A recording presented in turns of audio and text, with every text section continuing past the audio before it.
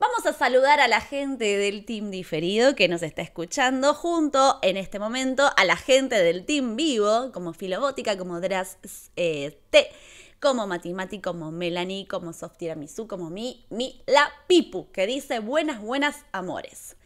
Hoy les voy a hablar de dos estrenos nacionales. Uno particularmente estuve en la premier, que es la del rapto, así que les voy a mostrar videitos, mi cobertura del rapto. Vamos a arrancar por ahí. El rapto, igual una mini introducción antes de empezar a hablar de la película y antes de mostrarle la premier, es una película eh, de Paramount de Daniela Goji protagonizada por Rodrigo de la Serna. Y cada vez que decimos Rodrigo de la Serna, deberían escucharse unos suspiros, como... Ah. unos suspiros. Este, y acá estamos con Jor en casa. voy a, esto están mis historias destacadas. Eh, que yo agarré me puse todo. Me puse transparencias, me puse, ¿cómo se dice? Encaje, brillo, me puse todo. Vamos a... Igual voy a sacar un poco el... porque me lo va a sacar copyright. Esto es medio como eh, medio nuestra personalidad hecha, hecha una story. Y ahí estoy en la alfombra roja ya. Vamos a sacar el sonido para que. ¿Ven? bueno, y acá tenemos a Rodrigo. Y acá está nuestros galanes de YouTube, Jorge con Coffee TV. Estaba su pareja también, que no sé el nombre. Ah, y esto, paren, lo voy a rebobinar. Igual yo hice un papelón. Eh, Qué hombre Rodrigo de la Serna, dice la gente. Qué grande de la Serna. Me identifico con Jorge, dice Andraceta. Hay como dos personalidades. Una la hipertinética y otra eh, la tranquila. Este, en eje también podríamos decir. Eh, ¿Y qué? ¿Qué íbamos? Ah, esta parte ahora le voy a poner sonido. Rodrigo de la Serna es lo más grande que hay. Punto. El mejor actor Me retrabé. del país, pero del mundo también. Lo amamos, lo amamos. Si nos escuchás, te amamos. Te amamos.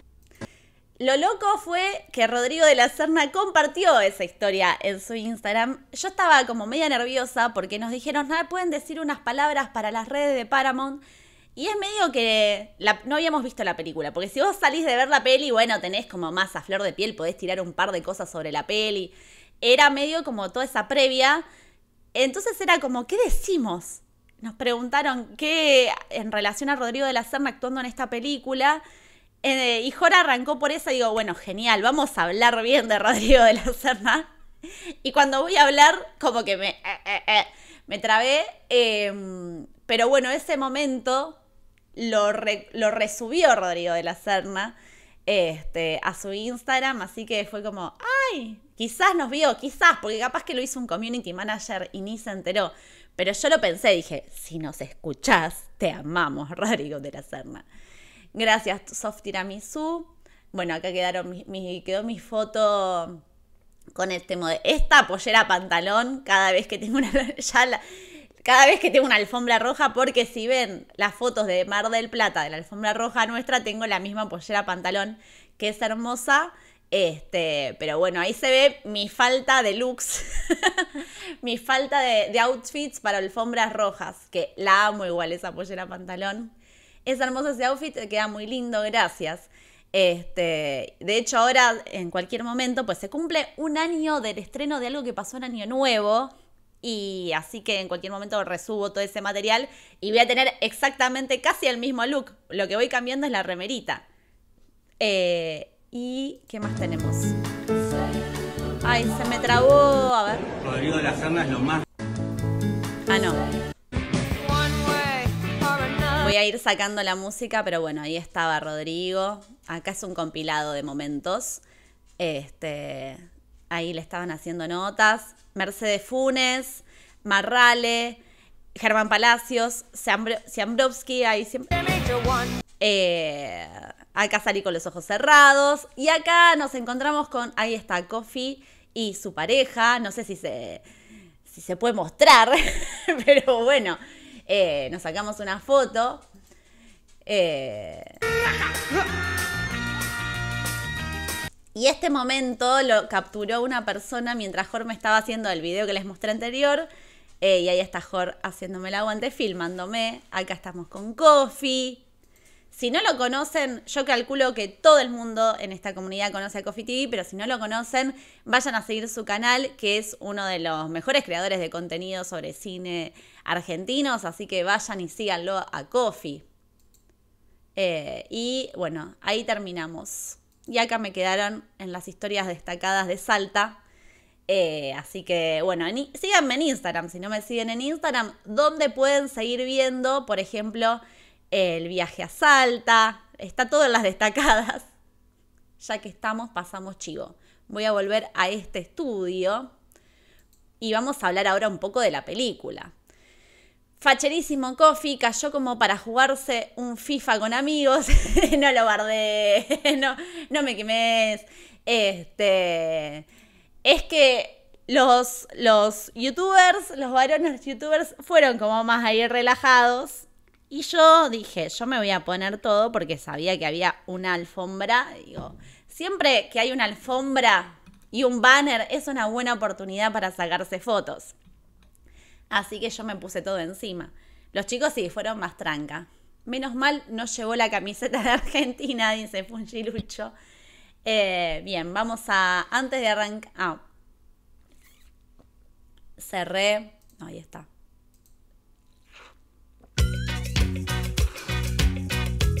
Bien.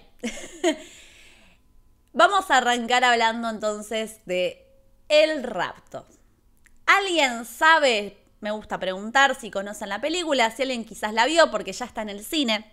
Así que ya en cualquier momento se, debe estrenar en la plataforma de Paramount. Eh, pero eso, para ver si saben de qué va, les pregunto a la gente que me acompaña ahí en el chat, para que no sea tampoco tan monologueado la cosa. Pero bueno, esta película es de Daniela Goji. Daniela Goji, quizás la conozcan por El Hilo Rojo o por Absurda. Eh, películas ambas protagonizadas por la China Suárez.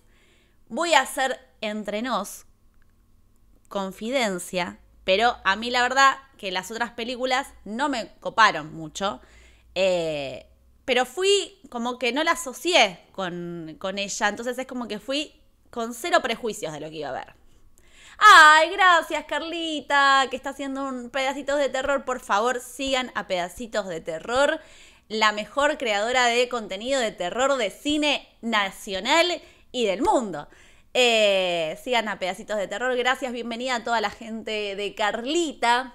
Está justo antes de, de este raid, estábamos mostrándoles videitos de la premier del rapto que estuvimos ahí con Jorge, con Kofi. Este, y ahora iba a arrancar justo a hablar de la película. Es una película protagonizada por Rodrigo de la Serna, Botón. Ah. Tendría que poner el video de Georgie, que tiene ahí unos suspiros de chiquititas. Estoy enamorada de todos. Gracias a un profe del conurbano. Creo que es el suscriptor más fiel que acaba de renovar la suscripción. Pues bien, concentrémonos. Esta película trata eh, sobre las personas que, en realidad, más principalmente sobre una, que es Rodrigo, el personaje de Rodrigo de la Serna. Ah, eh, soy como medio como los, los, que hacen en Instagram, que les van poniendo plata y van haciendo como un, un gestito. Ah, acuchi, cuchi, cuchi, acuchi, cuchi, cuchi. Voy a entrar en esa. Eh, pero la cuestión es, concéntrate, Natalia. Post-dictadura argentina, vieron que lamentablemente, terriblemente, muchas personas durante la dictadura argentina se tuvieron que exiliar porque peligraba su vida y post-dictadura un montón de argentinos vuelven a nuestro país. Bueno, el personaje de Rodrigo de la Serna estaba exiliado junto a su familia en Uruguay y así arranca la peli. Vuelve esta familia a eh, reactivar su vida acá son una familia. Es muy gracioso, hay un texto que mientras están en el avión de unos nenes, los hijos de De la Serna son bastante importantes en la película, que dicen eh, que son hijos de, no, son nietos de un comunista millonario.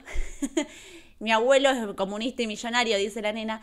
Entonces vuelven a hacerse cargo también un poco de la empresa familiar.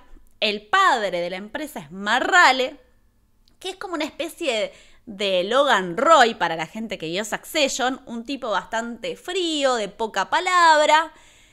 Y Rodrigo de la Serna vendría a ser como una especie de Kendall, este, que está ahí medio haciéndose cargo de la empresa. Bueno, Arranca la peli todos muy arriba, felicidad, aguante el Estado, vamos a Argentina, fútbol, asado, guitarra, se encuentra con su hermano Germán Palacios, todo hermoso. Escena siguiente, lo secuestran a Germán Palacios y le piden un rescate. Así arranca la película, es la premisa, de hecho se llama El rapto. Este, así que quédense tranquilos, tranquilas, que no estoy spoileando. Hola Nati, leí la historia real para entusiasmarme, en la página decían que el hermano no dio el consentimiento de la peli. No sé en qué pudo influir eso. Mira, este dato no lo tenía Joana. Eh, la cuestión es que está. Mm, lo secuestran y la película va a centrarse un poco en muchos casos que sucedieron en esa época, fines de los 80, principios de los 90, donde quedaron agrupaciones paramilitares, parapoliciales, de gente que en la dictadura tenía eh, el terrible curro de matar, extorsionar, secuestrar gente, y post dictadura siguen ligados al poder y siguen cometiendo asesinatos, secuestros, delitos, eh, amparados por gente que quedó vinculada al poder y se aprovechaban, en este caso, de gente con guita para secuestrar y pedir dinero a cambio de sus familiares. Hola, Lionel. Eh, apareció, la voy a saludar, no sé si, si apareció Carlitas y Pedacitos de Terror está en el chat, que hoy le agradecimos ese raidazo que nos hizo, pero vieron que a veces por ahí, a mí me pasa, por ahí hago el raid y empiezo a escuchar más tarde, este, pero bueno, eso. Bien, vuelvo a la película. Esta película se centra mucho en el personaje de Rodrigo de la Serna y lo vamos a seguir casi como si fuéramos una mosca detrás de sus orejas durante toda la película. Y lo mejor de la cinta es su actuación. De hecho, Rodrigo de la Serna, Coffee TV, que lo estuvo entrevistando, me dijo, Rodrigo estaba súper feliz y contento y dijo, es una de, de las producciones más importantes de mi vida y se nota porque son esas películas donde vos, si sos actriz o actor, podés pasar por todos los estados. Lo vamos a ver a Rodrigo de la Serna actuando desbordes trágicos. Lo vamos a ver en lugares más como graciosos, pícaros. Lo vamos a ver en lugares más introspectivos. Lo vamos a ver en lugares más desquiciados. Eh, más eh, Miley ayer en la entrevista este, de A24, así como lo vamos a ver eh, cantar. O sea, es. Para mí, la obra de la vida de Rodrigo de la Serna es, de la Serna es Ocupas. Eh, después, quizás Crónica de una fuga, pero bueno, claramente la obra de la vida es Ocupas. Acá, igual, él va a pasar por todos los lugares que un actor o una actriz quieren pasar en su vida. Y lo hace perfectamente bien. Ahora, si yo voy a lo global de la película, para mí hay cuestiones un poco flojas en términos de guion o de profundización de los vínculos, porque se centra demasiado en Rodrigo y, por ejemplo, no sé, está Julie Silverberg, está Marrale, eh, hay otros personajes a los que yo siento que se descuidan eh, y que no termina de profundizar, o cuestiones que aparecen con los hijos también, que yo no sé, hay una cuestión particular con la hija que yo digo, bueno, esto en algún momento lo, va a llevar hacia algún lugar, va a explotar, y no. Es como que queda todo como más superficial, podría decir. Hola Nati, estamos con mi compañera ahora viéndote. Una genia. Saludos, gracias. Ivana Sat, les mando un abrazo grande. Pues bien, entonces, eh, cinematográficamente la película es muy épica. Vamos a tener momentos de planos eh, secuencia, momentos de tensión.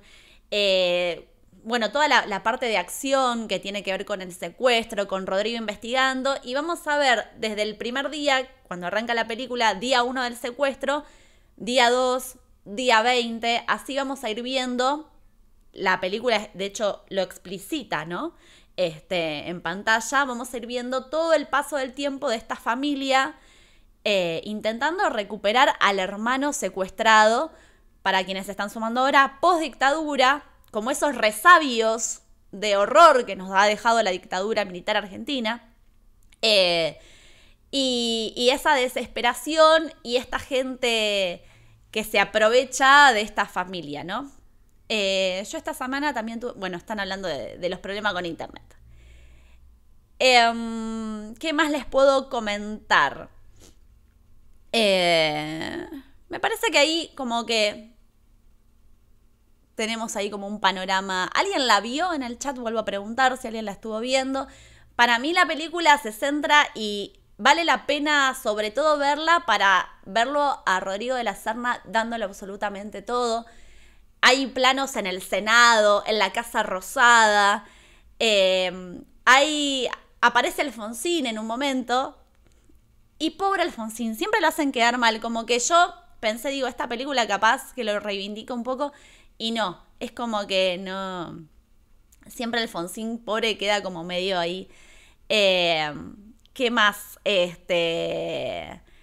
Tengo muchísimas ganas de ir a verla, dice Funchi. Sí, vayan a verla. Eh, si pueden ir al cine, yo creo que la van a disfrutar mucho más porque tiene un despliegue muy grande.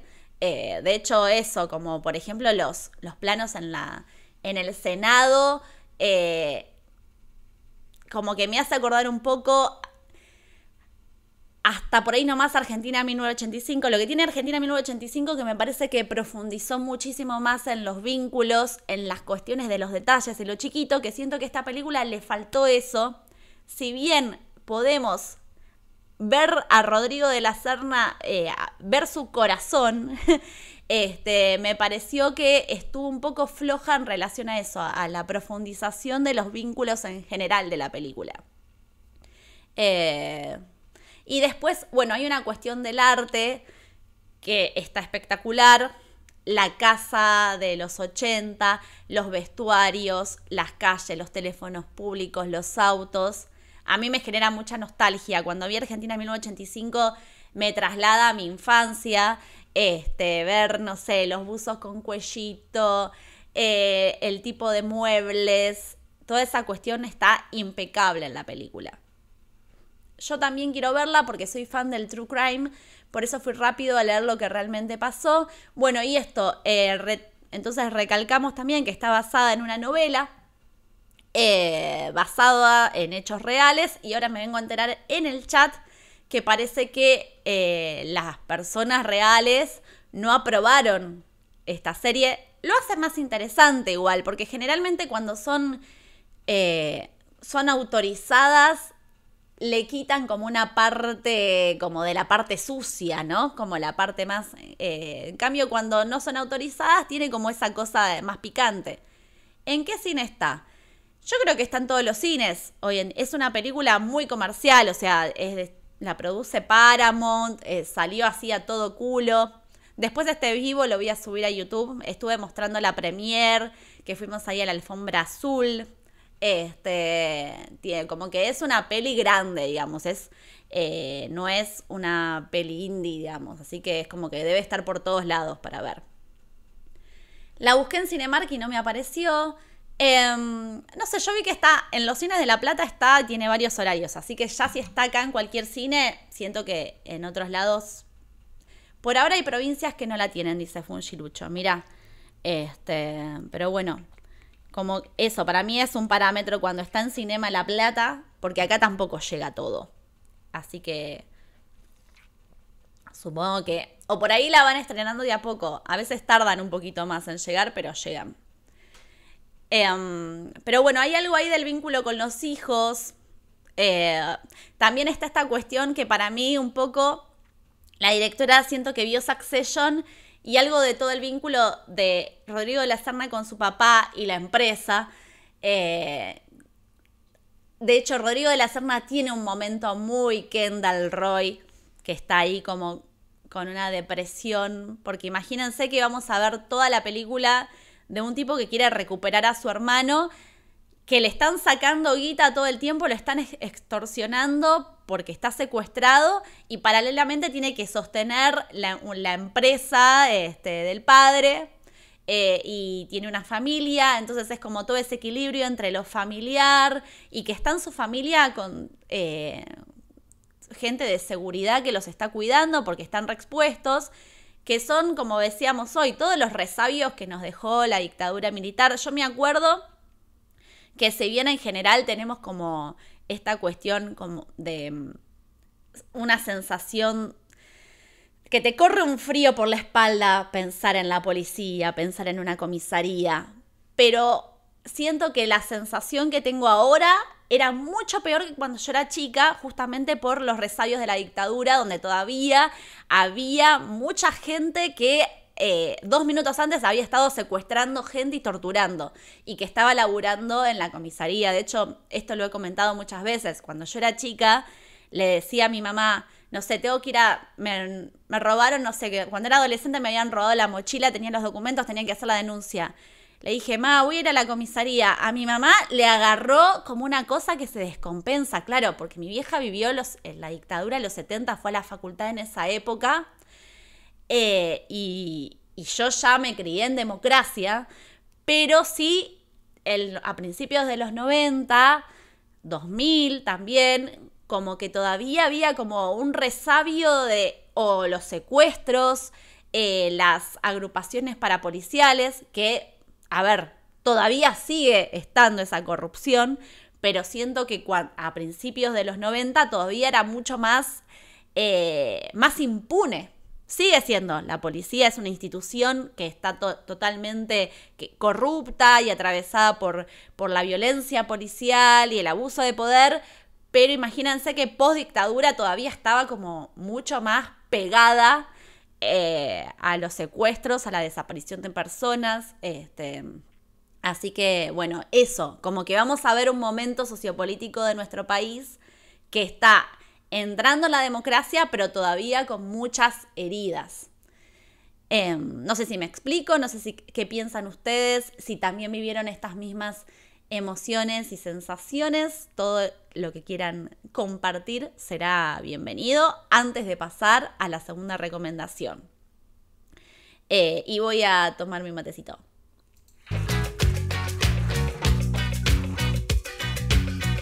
Música de mate. Bien, vamos a pasar a la segunda película del día de, la del día de hoy, Acá Coco Lulu dice, mi mamá también, terror a la policía. Es que mi vieja me contaba, ella estudió psicología en humanidades en La Plata eh, en los 70. Em, de hecho, el otro día yo le pregunté, porque no tenía dudas en relación, vieron que la carrera de psicología cierra durante la dictadura. Mi vieja arranca en el 76 y le digo, ma, como que me perdí, claro, no me dan las cuentas y me dijeron que, claro, que cierra la inscripción, pero la gente que estaba estudiando pudo seguir estudiando. Entonces era como que ella siguió haciendo la carrera de psicología sin ingresantes, pero bueno, eh, seguía abierta. Y esta cuestión que de repente venía la policía, veían documentos, se llevaban gente, eh, o venían del centro de estudiantes, cerraban la puerta y bardo, o sea, como que siempre era como la facultad de humanidad, y siempre me contaba esto como de pasar por cortinas de, papeles, digamos, como que era eh, donde estaba ahí toda la, la salsa hirviendo, digamos. ¿Por qué cerraron la carrera de psicología? Yo creo, dice Ana Perséfone, pregunta, yo creo que pensando en esta cuestión de que la dictadura tenía estos ideales recontra eh, nazis, homofóbicos, misóginos, eh, eh, se quemaron libros, como autoritarios, este, justo la carrera de psicología me parece que iba en contra de esos ideales democráticos de la... al revés, iba antidemocráticos, iba en contra de los ideales antidemocráticos de la dictadura. Solo la de psicología cerraron. Qué miedo, dice Vicu. La verdad que no sé eh, qué otras carreras. O sea, se quemaron libros. Así que imagínense. Y acá Lizard Quinn dice la de filosofía, ni te cuento, ¿sabes? Eh, Lizard, si la de filosofía también la cerraron, me voy a sonar la nariz. Cerraron todo lo que fuese humanidades, dice Dras. Puede ser. O sea, como que quedaron los que estaban estudiando, pero no, habrí, no eh, habían ingresantes. Eh, es algo interesante para investigar, porque yo siempre como que lo tenía así como por el costado, digamos, pero nunca me puse a profundizar sobre eso. De La Plata no sé, supongo que sí. La de la uva, por supuesto, ya te averiguo igual. Mientras nos averigua la historia de la Universidad Nacional Argentina, la Universidad Pública Lizard Queen, vamos a ir pasando a la siguiente recomendación, que es la calma. Pasamos del rapto a la calma. Y vamos a decir que igual de calma no tiene nada, sino que la calma se ve por fuera, pero la procesión va por dentro. Este, eso podría sintetizar como esta antítesis de este título. Es una película de Mariano Cóccolo y se grabó en Mendoza esta película. A diferencia de la otra, esta sí es una película súper independiente, eh, grabada en el desierto de la Valle en Mendoza. Y es interesante, también igual tiene que ver con estas cuestiones de tensión de poder y la extorsión y todo el abuso de poder que veníamos hablando del rapto, porque esta chica que vemos en el póster es una estudiante de abogacía que vivía en un pueblito, su padre tiene un accidente cardiovascular, queda sin capacidad de lenguaje, queda como todo entumecido, y ella tiene que volver a su pueblo a cuidar a su papá. O sea, pasa de su vida de estudiante a volver eh, a una casita muy sencilla eh, en el desierto de la valle que eh, vamos a chusmear acá algunas imágenes de la calma. Lo voy a poner acá en pantalla. Vamos a sacar acá. Acá tenemos el desierto de la Valle. Acá, antes, había un oasis en Mendoza y lo recalco porque tiene que ver con una situación actual y real que atraviesan muchas provincias de nuestro país. Más precisamente, bueno, de hecho hoy me levanto y veo que decían que anunciaban que iba a haber eh, probabilidad de falta de agua. Yo soy de La Plata, para la gente que no sabe, por, eh, por bajas del río de la Plata.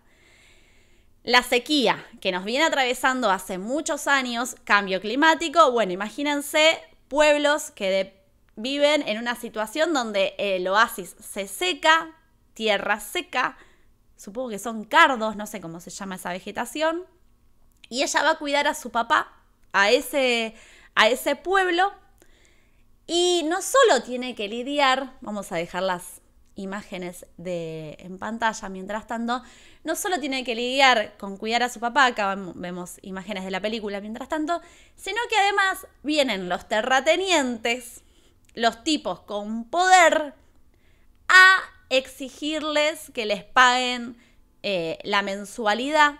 Y claro, en medio de una sequía, con su papá sí que no puede trabajar, ella se hace cargo de las tierras, de los animales y encima vienen estos tipos patoteros a pedirles guita ahí están en pantalla. Y está esa tensión, ¿no? Entre qué es lo que propone la protagonista, que ya viene con. está estudiando abogacía, entonces viene con otra información, otra, otro imaginario, decir, estos hijos de puta. La tierra no es de estos tipos, que estos patoteros que. La tierra es de quien la trabaja, la tierra es de los campesinos.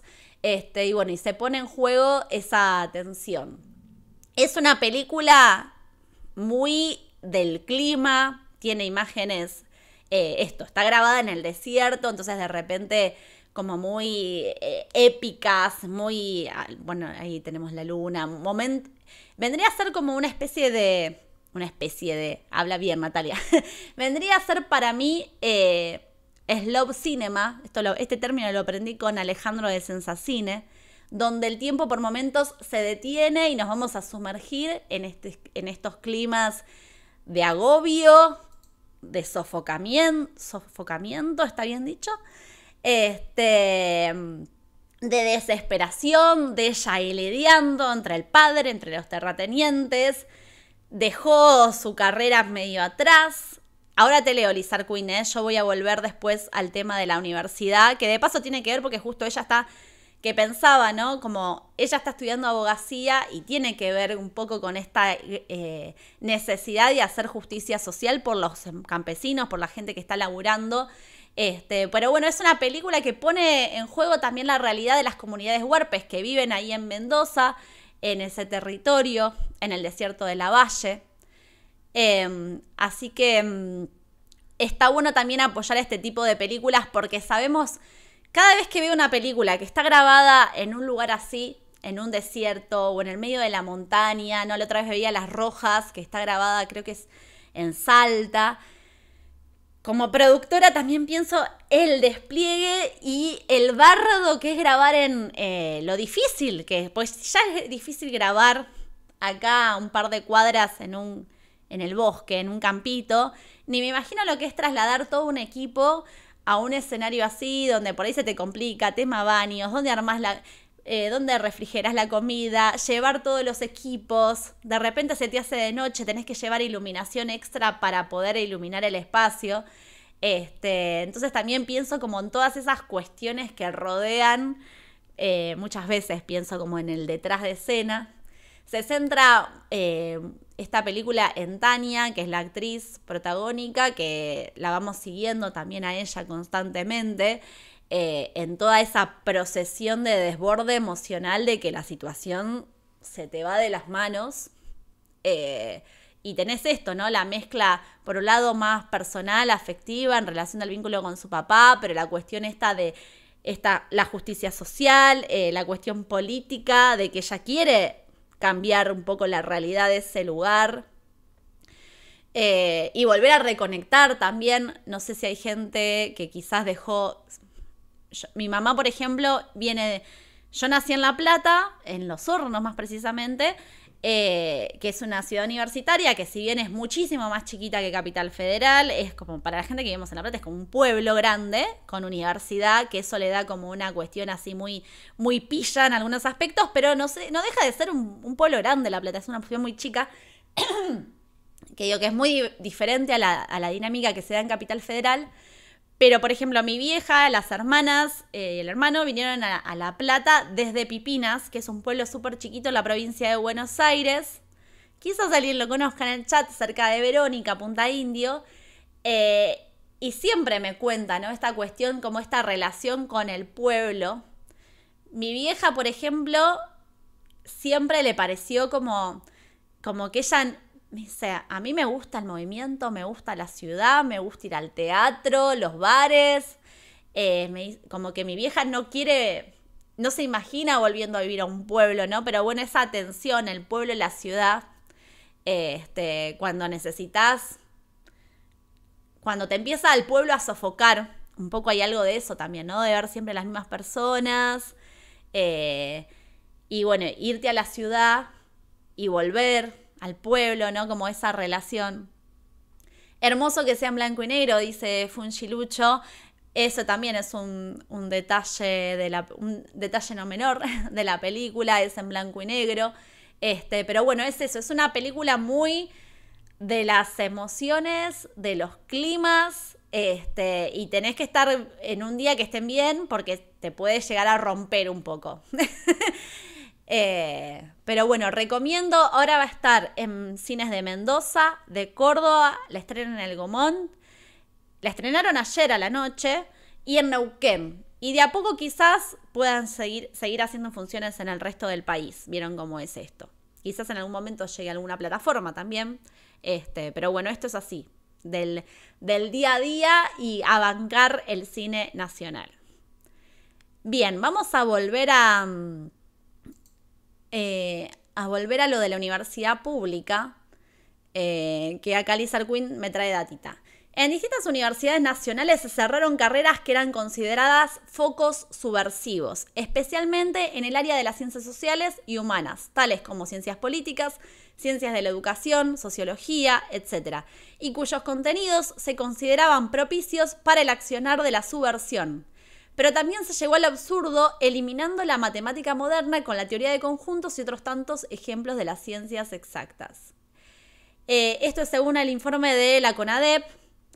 El 21% de los desaparecidos eran estudiantes. Claro, para eh, los valores, entre comillas, ¿no? De la dictadura, las universidades eran focos subversivos y por eso deciden cerrarla. Entonces, claro, nosotros nos estábamos entrando en la carrera de psicología, pero es verdad, como que para ellos cualquier tipo de... que se junten gente joven a pensar, eso ya estaba, ya eh, era subversivo para una dictadura. Y, más en la carrera de humanidades, este, ciencias sociales, eh, la enfermedad de pensar demasiado. Claro, acá Coco Lulú lo resume muy bien. Era eso. Ya gente pensando estaba mal. ¿Para qué vamos a profundizar? O sea, estábamos dándole demasiado, demasiada complejidad a, a los genocidas, digo. Pensando en por qué la habrán cerrado. No, claro, era cualquier tipo de rejunte de gente estaba mal y lo cerraban a la mierda y secuestrados, desaparecidos, asesinados. Eh, pero bueno, en fin, gracias Lizard Queen por ese informe. Lizard informa primero. Eh, este año también se estrenó otra película, Mendocina Parque Central. No pude ir a verla, pero la tiro acá para apoyar el cine de la provincia. Gracias, Melanie. Muchísimas gracias por esa recomendación. después la vamos a. la voy a buscar. Parque Central. Eh, Igual dice Lizard que hubo particular enfoque sobre los de Zico. La persecución tuvo un epicentro y un hecho que queda en el calendario de los años oscuros en este sector. Abril, pocas semanas después del golpe, La Plata, en un, en un solo día se llevaron a 14 psicólogos. Miren.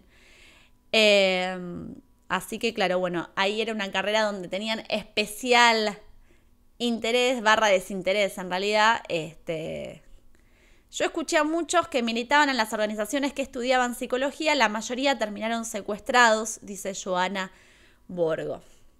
En Córdoba cerraron psicología y arquitectura. Este, pero claro, en fin, estábamos buscándole demasiada vuelta y en realidad era que cualquier tipo de rejunte de gente joven pensando ya estaba mal para los genocidas y por eso los, los cerraban. Vamos a despedir a la gente de YouTube y vuelvo y hacemos un raíz, así que agradecemos a toda la gente maravillosa, hermosa que banca esta comunidad. Eh, todos los lunes y viernes estamos transmitiendo en Twitch, así que si se quieren venir al Team Vivo, sean bienvenidos. Saqué un video sobre infancias queer, si todavía no lo vieron, vayan, pónganle me gusta, pónganselo a ver, si en el momento no lo pueden ver, pónganlo a reproducir para apoyar este canal y en algún momento lo ven. Este, pero bueno, gracias por estar y dale alegría a tu cuerpo.